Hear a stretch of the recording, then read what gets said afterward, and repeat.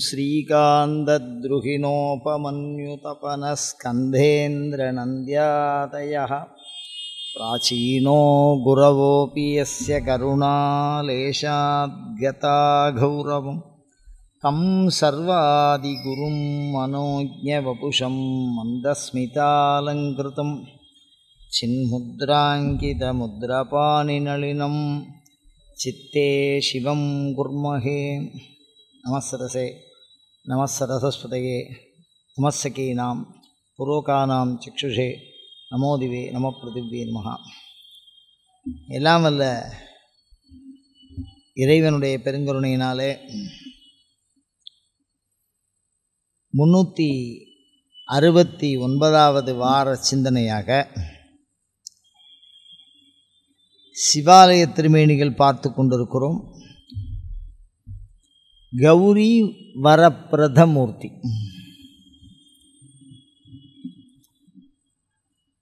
கௌரி அப்படின்னு அம்பாளுக்கு பேர். வேதம் உமையம்மையை கௌரி என்ற வார்த்தையால் அழைக்கிறது. கௌரி மிமாய சலிலானி அப்படின்னு அந்த அம்பாளுக்கு வந்து கௌரி. ஆகமங்கள் வந்து கௌரி பிரதிஷ்டா விதின்னு போட்டுருவோம் இல்லைன்னா தேவி பிரதிஷ்டா விதி அப்படின்னு சொல்லுவோம். இப்போ உமையம்மைக்கு வந்து ஆயிரம் நாமங்களுக்கு மேலே இருக்குது அந்த ஆயிரம் நாமங்கள்லேயும் இந்த நாமம் மிக சிறப்பாக இருப்பதனாலே கௌரி அப்படின்னு சிறப்பாக சொல்லியிருக்கா. அதுக்கெல்லாம் ஒரு காரணம் இருக்கா இப்போ அம்பாள்னு சொல்கிறோம் கௌரினா. இந்த அம்பாள் எங்கே இருக்கோம்? அப்படின்னு நம்ம ஒரு கேள்வி கேட்குறோம் அப்படின்னு வச்சுங்களேன் ஏன்னா நம்ம ஒரு கோயிலுக்குள்ளே போகும்போது நிறைய இறைவனுடைய திருமேனிகளை பார்க்கின்றோம் தரிசிக்கிறோம். அதில் எந்த இடத்துல இருக்குது இப்போ தட்சிணாமூர்த்தி இருக்கார் பைரவராக இருக்கார் சிவசூரியனாக இருக்கார் அதிகார நந்தியாக இருக்கார் பிரதோஷ நாயகராக இருக்கார் நடராஜராக இருக்கார். அது மாதிரி சிவபெருமானுக்கு பல்வேறு விதமான வடிவங்கள் இருப்பதனால இந்த மூர்த்தி இந்த கௌரி அப்படின்னு சொல்லக்கூடிய அம்பாள் அப்படின்னா எல்லா கோயில்களிலும் உடனாய அப்படின்னு சொல்லக்கூடிய சுவாமிக்கு கௌரின்னு பேர். இந்த திருக்கடையூர்னா அபிராமிக்கே கௌரின்னு தான் பேர். திருவன்காட்டிலேயே அபிராமிக்கு கௌரி. கௌரினா கௌரின்னு சொல்லலாம் தேவின்னு சொல்லலாம் மனோன்மணின்னு சொல்லலாம். மனோன்மணின்னு சிற்பசாஸ்திரம் சொல்கிறது கௌரிங்கிறது வேதம் சொல்கிறது தேவிங்கிறது ஆகமம் சொல்கிறது எல்லாருக்கும் பொதுவான ஒரு சிறப்பு பெயராக இந்த அம்பாளுடைய நாமமானது திகழ்கிறது. அப்போ நம்ம கோயிலில் இவளை பார்க்கணும் அப்படின்னு சொன்னால் அந்த சாமியினுடைய உடனாய திருக்கடையூரில் அபிராமி திருவன்காட்டில் பிரம்ம வித்யாம்பிகை சிதம்பரத்தில் சிவகாம சுந்தரி அப்படியாக இருக்கிறது. அதில் வரப்பிரத அப்படின்னு சொல்லும்போது வர அப்படின்னா உயர்ந்த சிறப்பான நன்மையான கிடைத்தற்கு அறிய இவ்வளவு பொருளையும் ஒன்றா கலந்தால் தான் வரேங்கிற சப்தத்துக்கு பொருள் வரும். உயர்வானதாக இருக்கணும் அப்போ தான் அது வரும். இப்படிதானே இறை அருளினாலே பெறப்படுவது எதுவோ அது வரும். இறை அருளினாலே தரப்படுவது எதுவோ அது வரும். அப்படி தானே இறைவனுக்கு பிற ஆன்மாக்களினாலே பிற இறைவன் பிற ஆன்மாக்களுக்கு தருவதை வரம் என்று கூறலாம். சித்தியும் சித்தி தரும் தெய்வம்னு சொல்கிறோம் அப்போ தெய்வத்தினாலே தரப்படுவது எதுவோ அது வரம்னு சொல்கிறோம் மாப்பிள்ளைய வது வரகான்னு சொல்கிறோம் ஒரு பெண்ணுக்கு தன்னுடைய கணவனை விட அதாவது கொழுனர் தொழுவால் தெய்வம் தொழால்னு சொல்கிறார் அப்போ ஒரு பெண்ணுக்கு வந்து தெய்வத்தை விட முக்கியமானது கணவன் சொல்கிறதுனால வரஹா சிரேஷ்டமானது. ஒரு மனிதனால் தான் மிக உயர்வாக கருதப்படுவது எதுவோ அது அவருக்கு வரமாக கருதத்தக்கது. இப்போ வர அப்படிங்கிற சொல்லுக்கு பார்க்குறோம். பிரத அப்படின்னா கொடுக்கறதுன்னு அர்த்தம். நம்மளாம் புராண கதைகள் எல்லாம் நிறைய கேட்குறோம். அப்படி கேட்குற பொழுது பிரம்மா வந்து பிரம்மாவை குறித்து தபஸ் பண்ணினான் அவன் வரம் கேட்டான் சாகா வரம் கேட்டான் இந்த வரம் கேட்டான் அது நிறைய கேட்குறோம். அந்த வரத்தை அவர்கள் கொடுக்கிறார்கள் அப்படின்னு சொல்கிறோம் இல்லையோ? அப்படி கொடுத்து பெறக்கூடிய ஏதோ ஒன்று. வரப்பிரத மூர்த்தி என்று சொன்னால் வடிவம் என்பது பொருள். அப்போது கௌரி வரப்பிரத மூர்த்தி அப்படின்னா பார்வதிக்கு பரமேஸ்வரன் கொடுத்த ஒரு அருள். அப்படின்னா இது கொஞ்சம் சிக்கலாக இருக்குது காரணம் என்னென்னா சிவனையும் சக்தியும் எந்த காலத்தையும் பிரிக்க முடியாது. கொடுத்து வாங்குகிற உருவம் இல்லை. முன்பக்கம் பின்பக்கமாக இருக்குது ஒரு காகிதத்தின் இரு பக்கத்தை போன்றவர்கள் சிவனும் சக்தியும். சூரியன்னா ஒளியும் சூரியனையும் போன்றவர்கள் சிவனும் சக்தியும். அப்போ கொடுத்து வாங்குறதுன்னு ஒன்று இருக்கா? அப்போ அவளுக்குள்ளே கொண்டா கொடுத்தானா வேறு விதமான உறவாக இருக்கு. ஏன்னா வரப்பிரத மூர்த்தி அப்படின்னு சொல்கிற பொழுது அப்போ அவ அவர்களுக்கு இடையே ஒரு சிறிய தூரமானது கற்பிக்கப்படுகிறது. அப்படி தானே அப்படின்னு நாம் எடுத்துக்க கூடாது. என்ன காரணம் அப்படின்னா ஒரு ஒரு சிறிது தவறாக நாம் சொற்களை பயன்படுத்தி விட்டாலும் அது தவறான சிந்தனைக்கு வழிவகுத்து விடுகிறது. அதுவும் ஆன்மீகத்தில் சொன்னவாலாம் ரொம்ப சுருக்கமாக சொல்லுவா. பழைய காலத்துலலாம் கவிதையாகவே சொல்லிட்டு போயிருக்கா. அந்த வார்த்தையை எப்படி புரிஞ்சுட்டாலும் பதம் பிரித்தாலும் அதை புரிந்து கொள்ளுதல் தான் மிக முக்கியம். அந்த வகையில் இறைவி வந்து சிவபெருமானிடத்திலிருந்து நன்மையை பெற்றுக்கொள்வது எப்படி என்று நமக்கு சொல்லித்தருவதற்கு எடுத்துக்கொண்ட முயற்சி கௌரி வரப்பிரதமம். அப்படிதான் அதை எடுத்துக்கணும். தாய் தான் தந்தையை சூட்டி காட்டுகிறாள். இதான் உங்கள் அப்பா. தந்தையை பற்றிய அனைத்து குண நலன்களையும் தாய் நன்கு அறிவாள். அப்படி அறிஞ்சு பையனுக்கு சொல்லணும். அப்படி தானே அந்த மாதிரி ஆன்மாக்களுக்கு நேரடியாக சிவபெருமானை பற்றி யாதும் அறிய முடியாது. அவ்வளவு வரம்பிலா பெருமையும் வரம்பிலா அருளும் வரம்பிலா ஆற்றலும் கொண்டவன். அப்படி அப்படிப்பட்டவன் உணரணுமே. அப்படிதானே? ஒரு உதாரணம் பாருங்க. நம்ம சாலையில் போயிட்டு இருக்கோம் விடியற் காலை.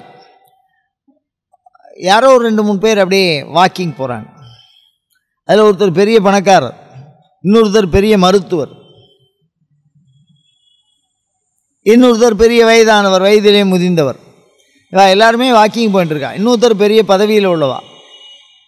இவா பின்னாடி யாருமே இல்லை. அவள் நடந்து சாதாரணமாக சாலையிலே சென்று கொண்டிருக்கிறார்கள். அவர்களை நீங்கள் தனியாக அடையாளப்படுத்தி விட முடியுமா? அவர்கள் சொல்லாமல்.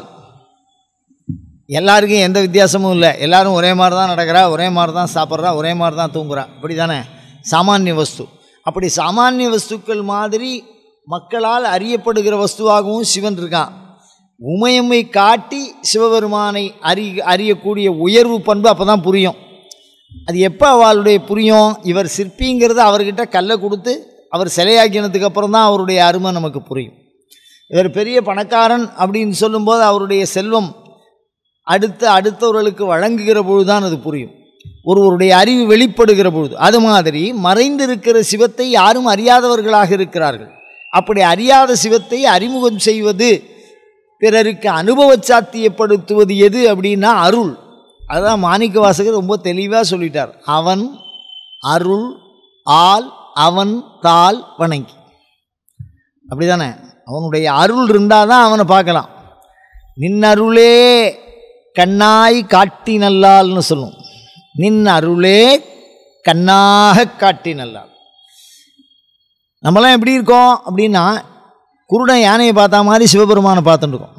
குருடன் யானையை பார்த்தா மாதிரி ஒருத்தன் பார்த்துட்டு துதிக்கை மாதிரி இருக்குங்கிறான் ஏதோ சொர சொரன்னு இருக்குது அப்படிங்கிறான் ஒருத்தன் தூண் மாதிரி இருக்குங்கிறான் ஒருத்தன் வைக்க போகிற மாதிரி இருக்குங்க வால் தடவி பார்த்துட்டு சொல்கிறான் யாருமே முழு வடிவத்தை சொல்லலை ஏன்னா எல்லாருமே தடவி பார்த்து உணர்கிறார்கள். முழுமையுமாய் பார்த்தவர்களுக்கு ஞான விழி வேண்டும். அப்படி தானே சிவபெருமானின் முழு உருவத்தையும் தெல்ல தெளிவாக நமக்கு அறிவுறுத்துகிற அற்புத வடிவம் ஒன்று உண்டெனில் அது கௌரி வரப்பிரத மூர்த்தி அதனால் வரப்பிரத மூர்த்தின்னு சொன்னா காரணம் என்னென்னா இப்போ உலகியலில் பாருங்கள் இப்போ அம்பாளை சொல்கிறோம் நம்ம உலகியலில் ஒரு நாயாக இருக்கட்டும் ஒரு பூனையாக இருக்கட்டும் ஒரு குருவியாக இருக்கட்டும் வேதத்தில் ஒரு பிரிவுக்கு தைத்திரிய மந்திர கோஷம்னு பேர். வேதத்தில் ஒரு பெரிய பிரிவின் மந்திரத்திற்கு பேர் தைத்திரிய மந்திர கோஷம். அந்த தைத்திரியம் அப்படின்னா தித்திரின்னு ஒரு புறா. அது ஒரு பறவைன்னு வச்சுங்க. அந்த பறவை என்ன பண்ணும்னா தன்னுடைய குழந்தைக்கு கூட்டுக்குள்ளே வச்சு தான் ஒரு பழக்கனியை நன்கு சுவைத்து தான் சற்று விழுங்கி அது கரெக்டாக இருக்கான்னு பார்த்து அதோட அழகுக்குள்ளே தன்னோட அழகை உள்ளே வச்சு இந்த வாய் முன்னாடி நீட்டின்னு இருக்குமே அதை சொல்கிறேன் அது உள்ளே வச்சு ஸ்ப்ரே பண்ணும். அதை இழுத்துக்க தெரியாது அதுக்கு.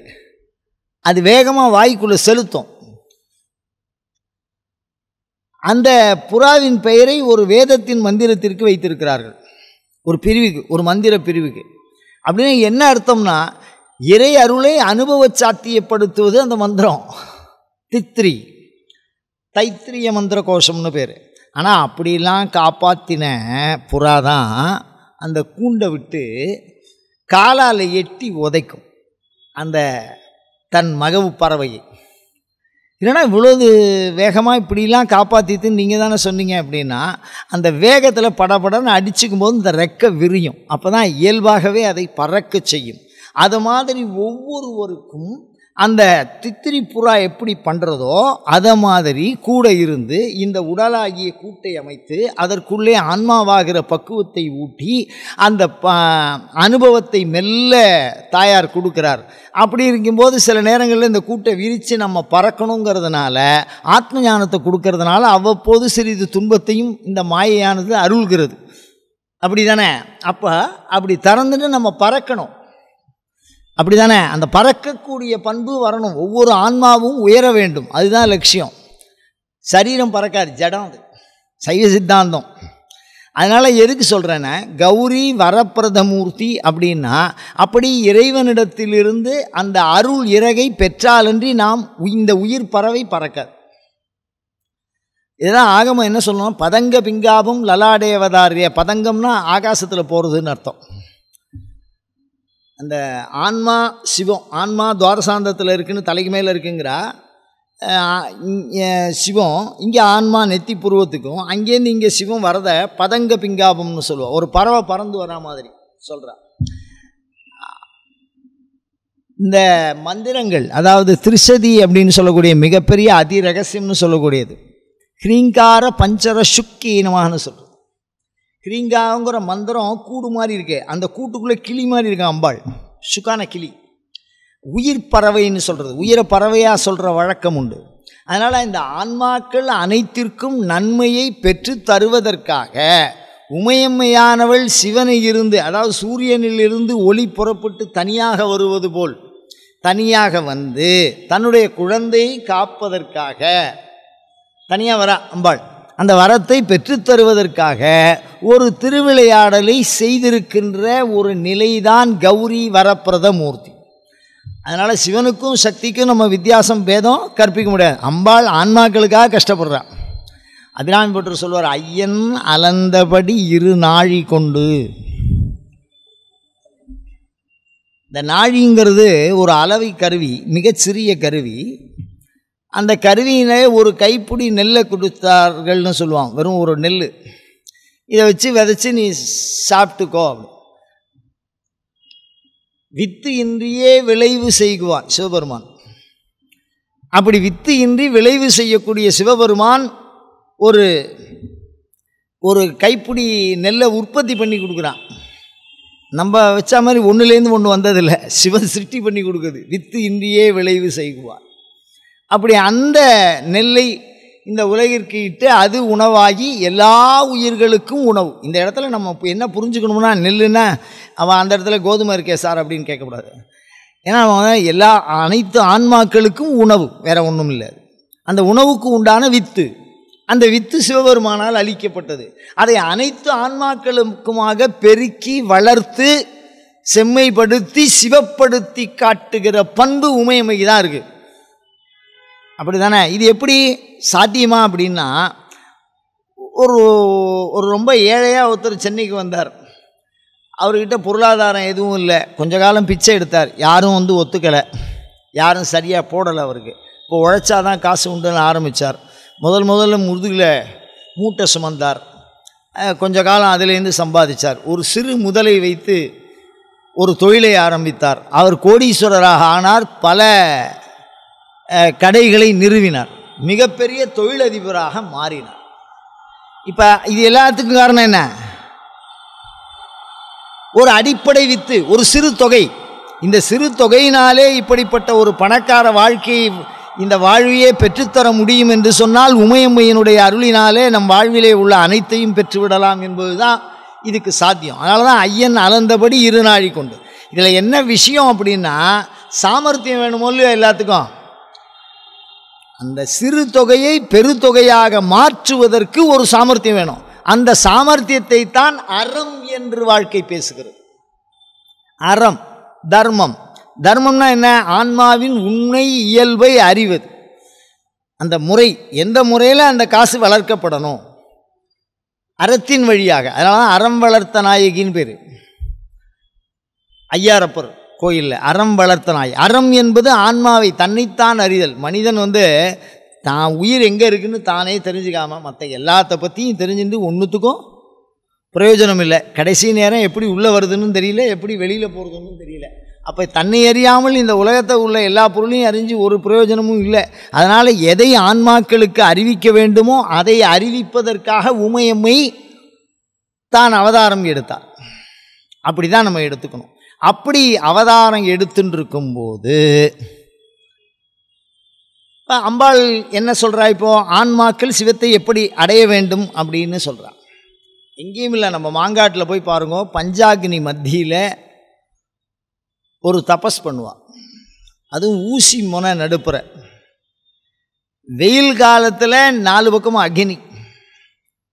மழை காலத்தில் கொட்டும் குளிர் காலத்தில் பனி காலத்தில் தண்ணிக்குள்ளே இருந்தது வெயிலுக்கு நம்மலாம் ஏசி போட்டுக்கோம் அந்த அம்மா பஞ்சாகினிக்கு மத்தியில் இருந்து ஒரு ஊசி முனையில் நின்று இறைவனை ஒற்றை காலிலே நின்று தவம் செய்கிறாள் அப்படின்னு சொன்னால் எவ்வளவு கடினம் தவம் என்பது நான் புரிஞ்சுக்கணும். அப்படிப்பட்ட தவம் செய்தால் சிவனுக்கு அது விருப்பம். அப்படிதானே? நேரடியாக பார்வதியை வந்து பார்த்தா மன்மதன் அம்பு போட்டான் மன்மதனையே எரிச்சுட்டார். அப்படி வளமான இருந்த அழகை நோக்காத சிவம் வற்றி போயிருக்கிற அபர்ணான்னு பேர். அம்பாள் எப்படி இருக்காளாம்? தலையெல்லாம் ஜட பிடிச்சி போச்சு. சிறு வயது பெண். அவளுடைய அழகு இழந்தாள். அப்படியே உடலெல்லாம் வற்றி விட்டாள். ஒரு குழந்தை சாப்பிடாம எவ்வளவு காலம் பனிலையும் வெயில்லையும் வெப்பத்துலேயும் அப்படியே என்னது? அப்படியே நம்ம பார்த்தாலே வருத்தப்படுவோம். ஏன்னா நம்ம ஒரு குழந்தை அப்படி சோர்ந்து அது அது வேகமாக ஓடி ஆடி விளையாடும் போது ஒரு கோவத்தில் கூட ஒரு அடி அடித்தா கூட அது மகிழ்ச்சி தான் ஆனால் அது சோர்ந்து அப்படி சாய்கிற பொழுது ஒரு தாயின் கண்கள் கலங்கிவிடும் இதுதானே அப்போ அந்த அந்த மாதிரி ஒரு தாயே பார்த்து கதறா மேனா. இப்படிலாம் தபஸ் பண்ணி யாரா கல்யாணம் பண்ணிக்க போகிறாளோ அற்புதமாக சொல்லுகிறான் காளிதாசன். அந்த அப்படிப்பட்ட தவத்தினாலே சிவத்தை அடையலாம் என்பது அம்பாள் நமக்கு கொடுக்கிற குறிப்பு. அதுதான் விஷயம். சிவனை அடைவது எளிதல்ல.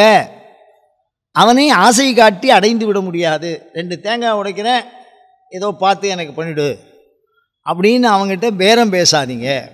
சிவாய நம நான் எந்த நோக்கத்துலையும் சொல்லலை. அவன் அன்பினாலே அடையத்தக்கவன் அனைத்தையும் அறிந்தவன். அவனை அடைவிக்கும் வழிகள் யாவும் அவனுக்கு தெரியும். இந்த வழியில் போங்கோ இப்படி போகணும் அப்படிங்கிற விஷயமெல்லாம் அவன் ஏத்துண்டா. ஆனால் அப்படிப்பட்ட எட்ட முடியாத சிவன் அயனும் மாலும் அறியா சோதியன் இப்படிதானே வேதத்தை படைச்சவன் பிரம்மா. அதுக்கு பொருளாக விளங்குகிறவன் நாரணன். அப்படிப்பட்ட பண்பு உடையவர்களாலே கூட அடைய முடியாத சோதியாய் முழுவதுமாய் உணர முடியாதவனாய் இருக்கக்கூடிய பண்பு. அன்பினா அறிவினாலும் ஆட் செல்வத்தினாலும் அடைய முடியாத ஒன்றை அன்பினால் அடைந்து விடலாம். அதுதான் விஷயம். அந்த அன்பு சிவன் மேல் எப்படி செய்ய வேண்டும் என்பதை நமக்கு காட்டுகிற பண்பு இந்த கௌரி வரப்பிரத மூர்த்தி இந்த அன்பு எப்படி செலுத்தணும்? அன்பு எப்படி சாமியை எப்படி கும்பிட்றதுன்னே நமக்கு தெரியலையே. கையை எடுத்து இப்படி கும்பிட்றோம். நம்ம கையை இப்படி வச்சுக்கிறோம். அதனால் ஒரு பத்து நிமிஷத்தில் சாமி அனுக்கிரகம் வந்துடும் அப்படிலாம் இல்லை. அபிராமி இப்படி கதர்றார். உன்னையே அன்னையே என்பன் ஓடி வந்தே. அவர் உள்ளுக்குள்ளே இருக்கக்கூடிய உணர்வுகளை எல்லாம் பாடலில் பதிவு செய்கிறார். அன்பின் அடையாளங்களை எல்லாம் பதிவு செய்கிறார். விரும்பி தொழும் அடியார் விழிநீர் மல்கி மெய்ப்புலகம் அரும்பி ததும்பிய ஆனந்தமாகி அறிவு இழந்து. அப்புறம் வரேன் இங்கே கேட்குறது என் ஐயா அப்படின்னா என்னாகும்?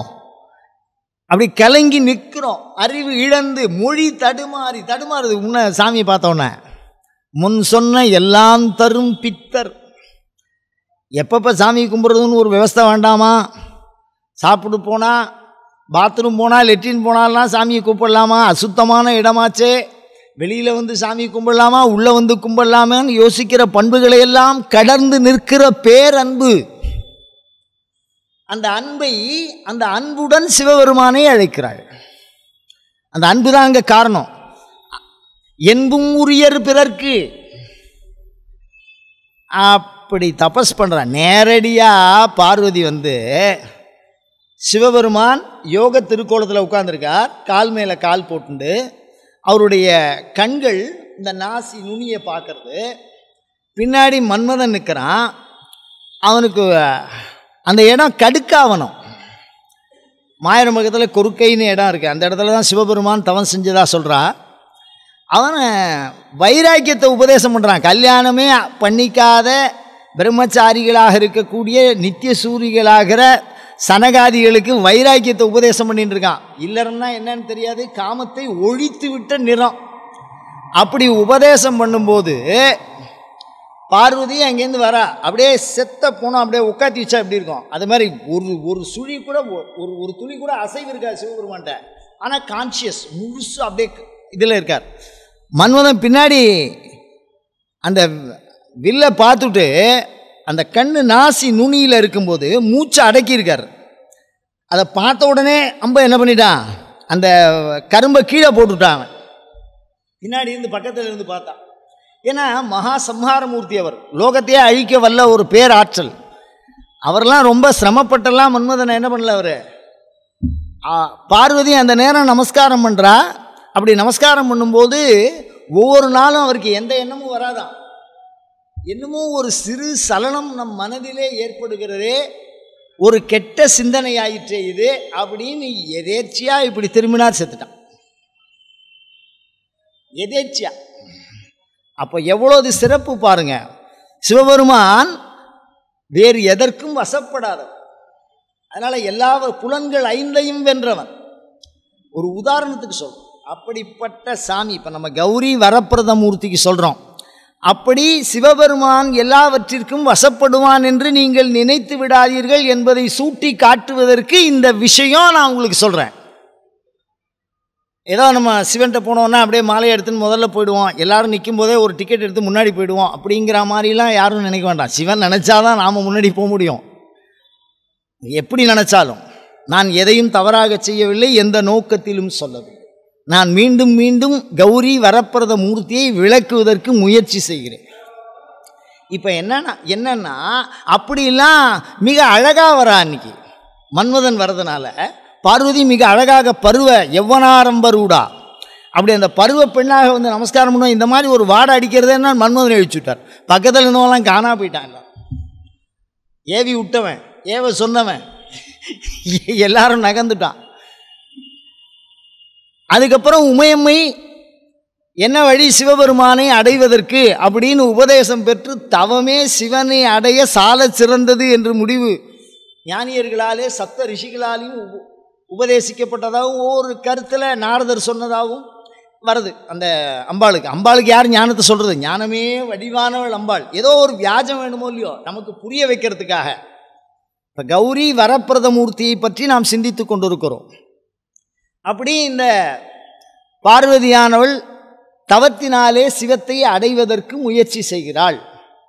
அந்த தவம் என்பது கொடிய தவம். நான் என்ன சொன்னேனே? ஒத்த கால் ஊசியில் நிற்கிறது எப்படி நிற்க முடியும்? சாப்பிடாம இருக்கிறது. எப்படி இருக்கிறது? சாப் ஹோட்டலுக்காகவே சில இடங்கள் மாற்றி போக வேண்டியதாக இருக்கு. அப்படிலாம் நம்ம காஃபி இல்லாமல் நம்மளால் வாழவே முடியல.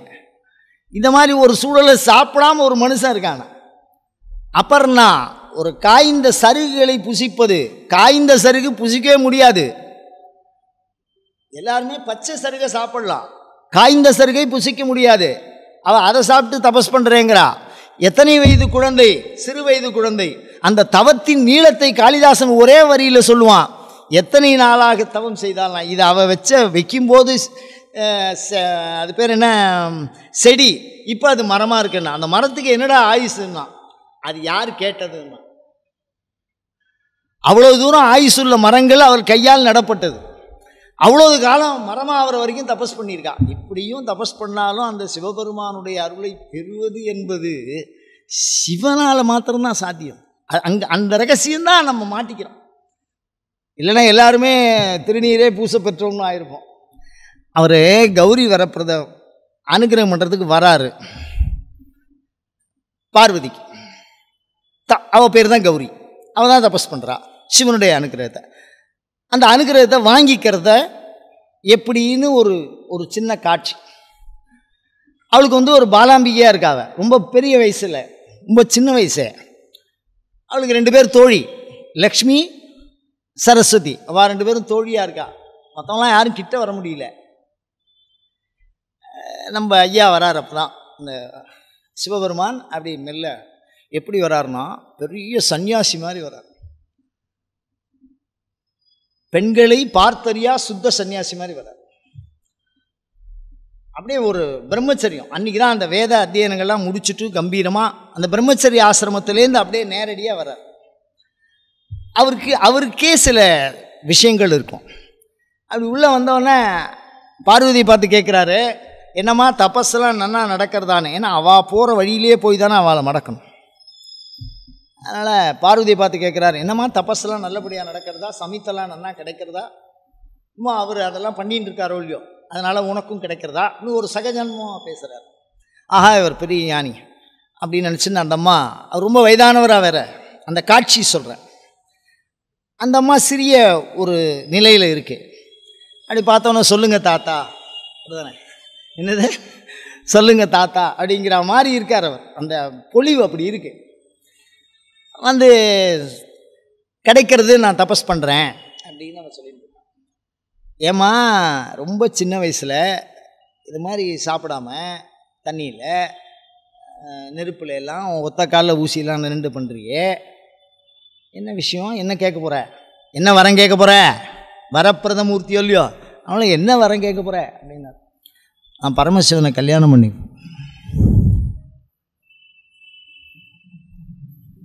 அவர் பரமசிவனாக வரல.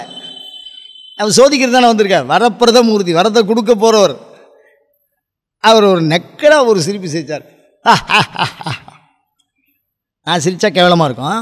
அவர் அருமையாக சிரித்தார் சிவன் சிரிச்சா பிரச்சனைங்க.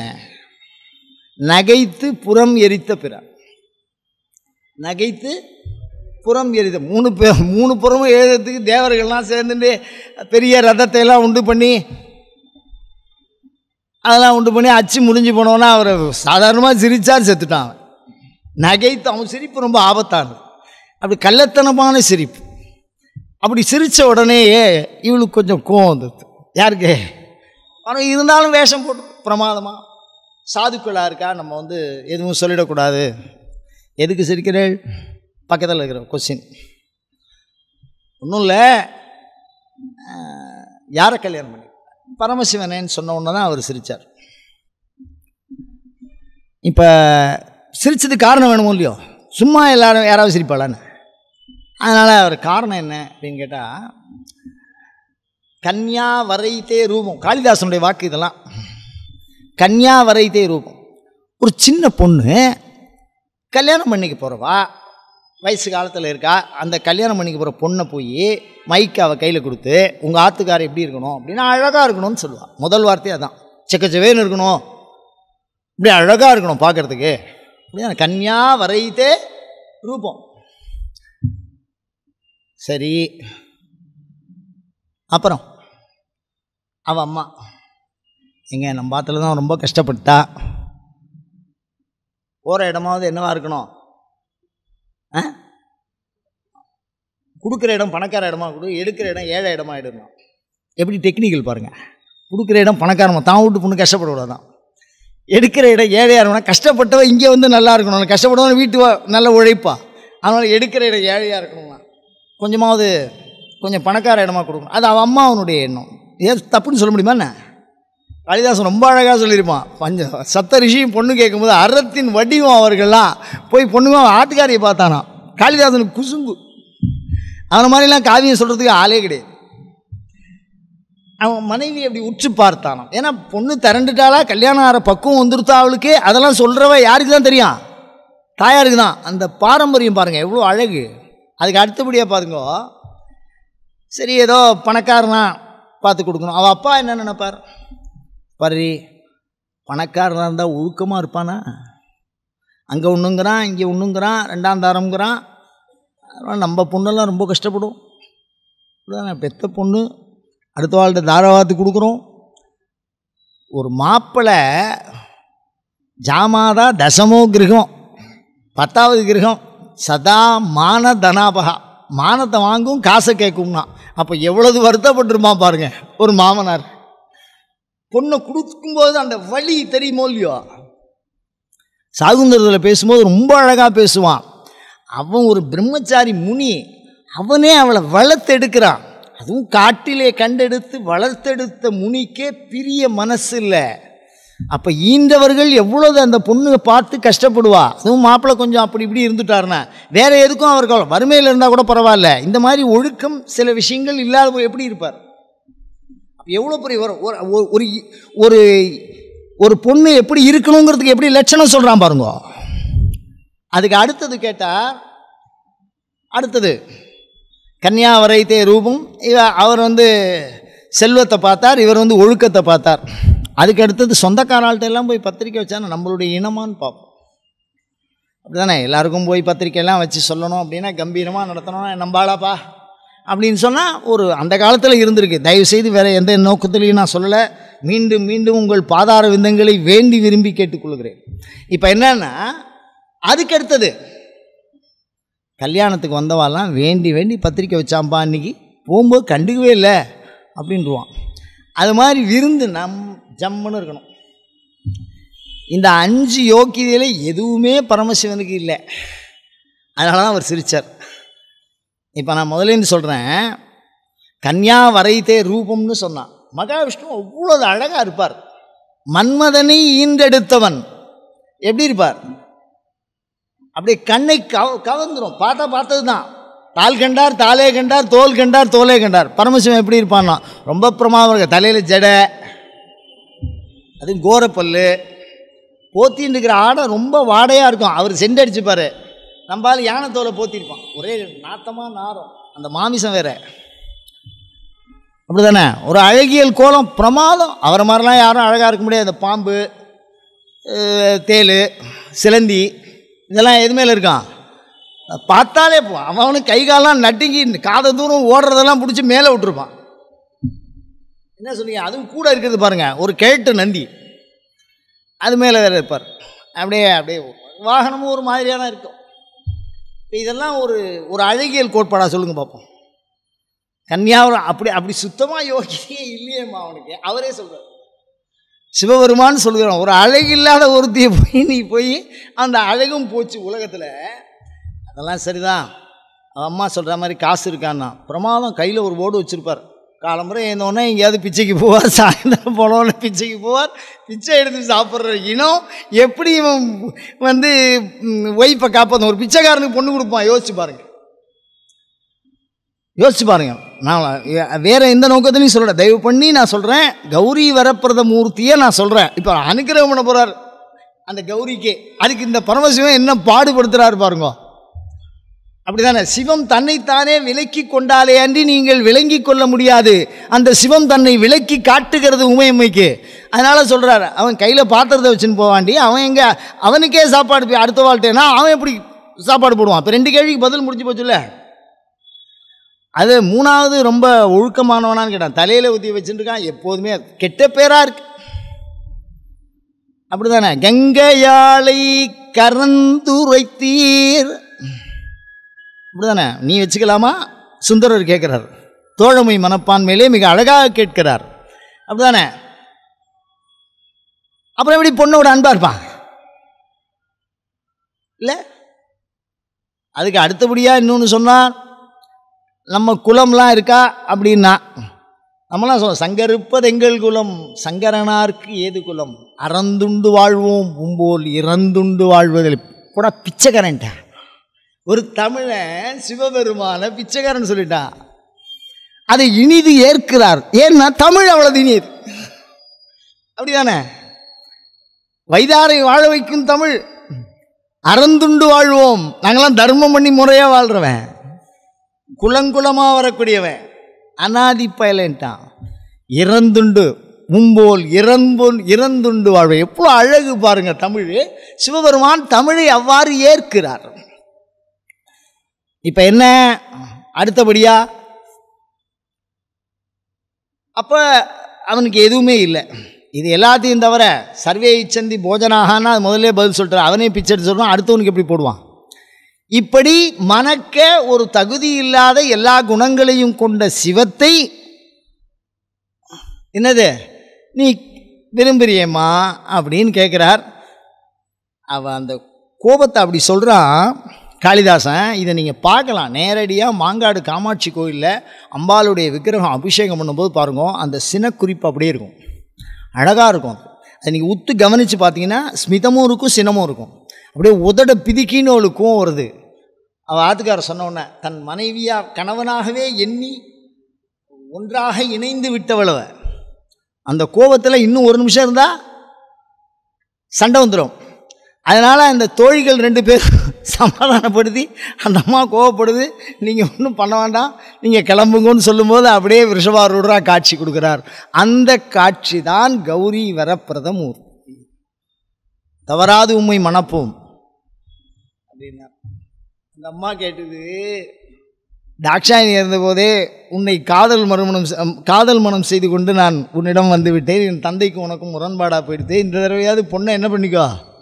கேட்டு முறைப்படி அறத்தின் வழி மணந்து கொள்வாயாக. அன்பின் மனம் வேறு அறத்தின் மனம். அன்பு தானாக முடிவு செய்வது அறம் என்பது நாம் பின்பற்றுவது. அந்த குலச்சாரல். அதனால் அறத்தின் வழியே மணந்து கொள் அப்படின்னு கேட்டார்.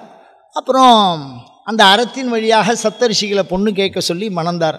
இப்போ இந்த கௌரி வரப்பிரதமூர்த்தி அப்படிங்கிறது பார்வதிக்கும் பரமேஸ்வரனுக்கும் நடந்த சம்வாதத்தின் முடிவில் அவர் எப்படி தரிசனம் கொடுத்தார்? முதல்ல உள்ள ஆசிரமத்துக்குள்ளே வரும்போது ஒரு வயசான ஒரு பிரம்மச்சாரியாக வர மாதிரி இருந்தது. அப்புறம் கொஞ்சம் சந்நியாச பண்போடு பேசுகிற மாதிரி இருந்தது. அப்புறம் பார்த்தா விஷபாரூடராக காட்சி கொடுக்குறார்.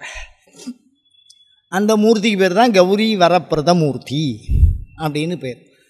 இந்த மூர்த்தியை நம்ம வணங்கினோம் அப்படின்னு சொன்னால் திருமணம் கட்டாயமாக திருமணம்.